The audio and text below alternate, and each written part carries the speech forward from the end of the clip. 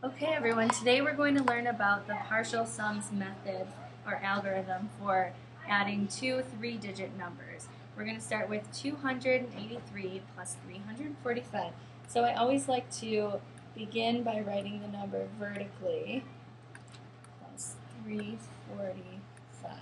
And what you're going to do is you are going to focus on the numbers um, by place value and add each place value at a time. So we're going to start with the hundreds place value, where we have a 2 and a 3, but it's not 2 plus 3, it's really 200 plus 300 because it's in the hundreds place value.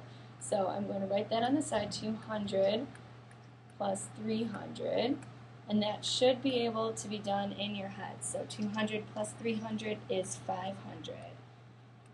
Next we're going to move on to the tens place value, which is 8 and 4 here and it's not 8 and 4, it's really 80 and 40. So we're going to do 80 plus 40, which in your heads you should be able to figure out again is 120. And then finally we are going to work on the ones place value, which is 3 and 5, and that is just 3 and 5. So we're going to add 3 plus 5, which equals 8.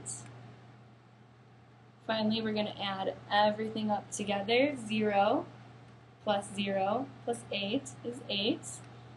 0 plus 2 is 2. And then 5 plus 1 is 6. So your final answer is 628.